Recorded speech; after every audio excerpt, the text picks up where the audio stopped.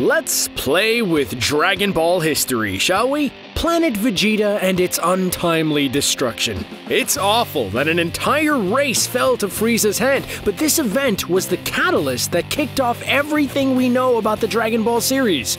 Goku becoming the hero the world needs, Vegeta's internal struggles with his Saiyan pride, the awesome fight sequences, transformations, the longest five minutes on planet Namek, it all stems from this one moment. So what if the destruction of planet Planet Vegeta never happened. A better question, what if Bardock was able to stop Frieza? Well, this would change everything we know and love about Dragon Ball.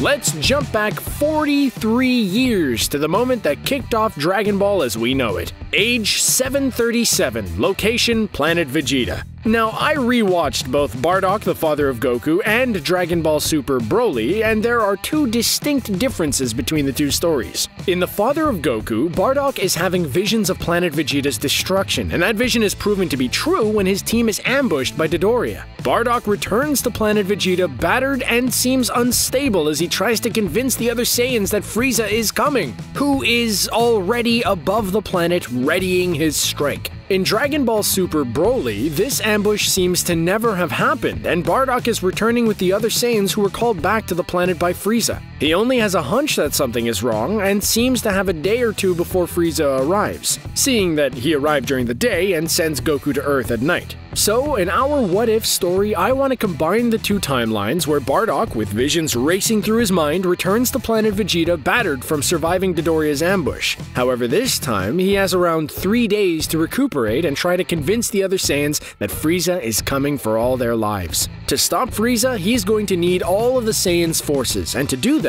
he has to go to the top. And that would be a problem. Due to the classism that existed on the planet, King Vegeta wouldn't be willing to meet with a low-class Saiyan like Bardock regardless of the reasoning. So for Bardock to meet with the King of all Saiyans, he would have to fight his way through King Vegeta's palace, which he would, taking floor by floor till he reached the top. Although deemed a low-class Saiyan, Bardock was extremely powerful. It's mentioned in Bardock the Father of Goku that with the way that Bardock fights, which is fighting until he's almost sent to Otherworld, he could soon pass King Vegeta in power due to how the Saiyans grow stronger with every battle. That was before the ambush, and with Bardock storming the castle now, his power likely rivals King Vegeta's or even surpasses it. However, once Bardock reaches the top, he wouldn't use this power against the king, even though it would be simpler to force him into submission. He only wants to talk, and King Vegeta allows it until forces arrive to subdue Bardock and take him to prison. Although this all seems unlikely to King Vegeta, he would take this information and mull it over until having the Saiyans monitor the skies for any signs of anything out of the ordinary, even putting the Saiyans on standby for attack. When the fateful day came, the Saiyans were now ready, and Bardock would be released to join the fight. Only moments would pass before the starry skies were filled with practically every Saiyan on the planet below. Frieza would release his own army and the deadly battle would commence. Bodies would fall on both sides, one after the other, but as time went on, the Saiyans would begin to overwhelm the Frieza force. This angers Frieza, much like it did in the original timeline, forcing him to take matters into his own hands and launch his supernova attack. Bardock launches an attack of his own, halting Frieza's attack for a moment. Although strong, Frieza's power is still too great as his supernova creeps closer and closer to the planet. Bardock can't hold on alone, and this time, he isn't. One by one, the surviving Saiyans launch their own attacks until the supernova is stopped in its tracks and pushed back to its source. With a light blinding the skies, the supernova, along with the combined attacks from the Saiyans, crashes into Frieza and his ship, both evaporating into nothing but space dust.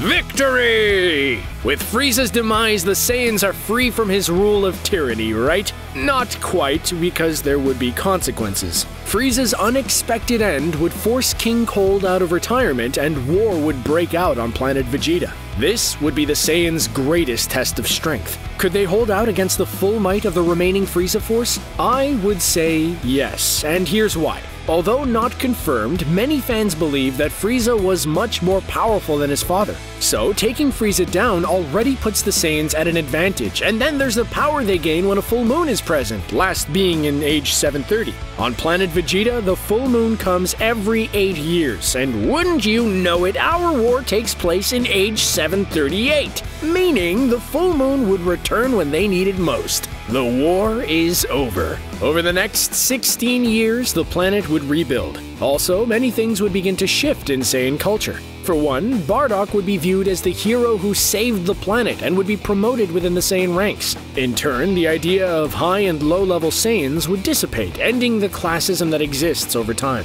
Although given the chance to, now that Frieza isn't dictating their every move, the Saiyans would continue to act as tyrannical beasts conquering planets in nearby systems. This would lead back to the original timeline, as one of the planets on their list is the backwater planet named Earth. This would be the moment where Bardock lets his secret go that before the war, he sent his son Kakarot to Earth. Being that Bardock is the hero of planet Vegeta, this is forgiven because this should mean that Kakarot should have already conquered the planet. To be sure, Bardock would be sent to Earth to scout Kakarot's progress, and Raditz and four other Saiyans will arrive shortly after.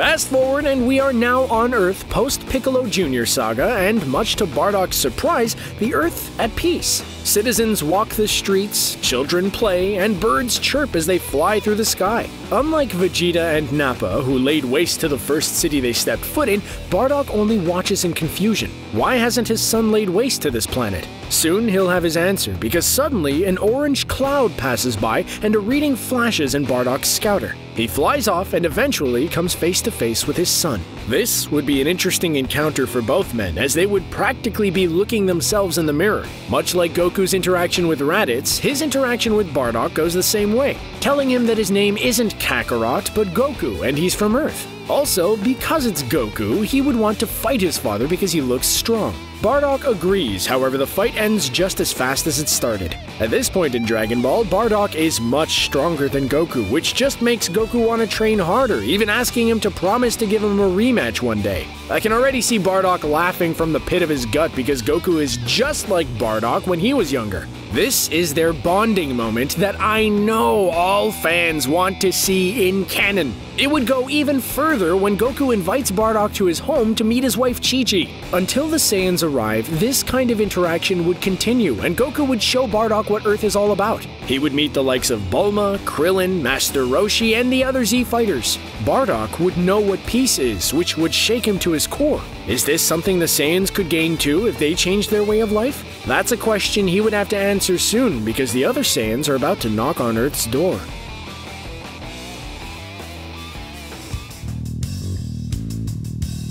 Unlike the original timeline, the Saiyan saga would begin much earlier as Raditz and the four other Saiyans touch down on Earth. Much like Bardock, the state of Earth perplexes them all. Where's the chaos, the screams for mercy? Well, if a job's not done right, then you gotta do it yourself. With an explosion, East City goes up in smoke. All across the planet, the Z fighters would feel the loss of life and the combined power levels of Earth's new threats. However, they have no idea who or what is coming. The only one who knows is Bardock, whose fear has come true. Bardock would have to tell Goku the truth that he isn't here to reunite with his son, but to conquer Earth because that's what Saiyans do. However, the time with Goku has changed him, and now rather than conquer Earth, he will defend Earth just like he did on planet Vegeta. The two fly off to the now decimated East City, and the other Z fighters follow suit. Now, being that we are still in the Dragon Ball time period, none of the Z fighters have the strength they did in Dragon Ball Z. In that timeline, they could barely handle Nappa, and Goku had to lose his life to defeat Raditz. So if it was a struggle then, think about now. Good thing Bardock is on their side. Bardock's power level at the time of the war was above 10,000. 16 years have passed since then, so his power level has only gone up exponentially. Comparatively, Raditz's power level is around 1,300, let's say. This number is based on his power level around the time of Z, which was 1,600. The four other Saiyans sent would be below even that. This is something Bardock knows, so before the fight begins, he would try to convince the other Saiyans, and more so his son Raditz, to give up. He would tell them to look at the world around them, the peace that's present. This is a life the Saiyans could have too if they could move past their primitive ways. This, of course, would be to no avail. The Saiyans would think Bardock was a fool and begin their assault. Wrong move, because Bardock makes quick work of each of them. Think Trunks versus Mecha Frieza. Each of the Saiyans would make Earth their burial site, except Raditz, who is brought down to his knees with a gut shot. Bardock would plead for his son to stop this madness, but that Saiyan pride wouldn't allow Raditz to do so. Bardock powers up his final shot, but, like father like son, he can't do it and lets Raditz go. That mistake would prove deadly because once he makes it back to planet Vegeta, the Saiyans will return in droves. Like in the original Saiyan saga, the Z fighters only have about a year to get ready for their eventual get together with the Saiyan army. Although their fight wasn't too long ago, Goku would even have to recruit Piccolo because without him, the Earth will fall, taking away Piccolo's chance to do it himself. Day after day, the fighters would train until a year passed and the Saiyans returned. However, this assault is nothing like before. The amount of space pods that fall through the heavens mimics an invasion. This is overkill, but for King Vegeta, this is just the right amount of force to prove to the galaxy that the Saiyans shouldn't be taken lightly and shouldn't be crossed. Although stronger, the sheer amount of numbers would overwhelm the Z fighters. One by one, each would fall, including Goku, who is nowhere near the power level he was when he fought Vegeta for the first time. Bardock, hero of planet Vegeta, would fight till his last breath until he too was no more. The Earth, like many planets after, would fall to the wrath of the Saiyan race, all because Bardock defeated Frieza and saved the Saiyans from their fate.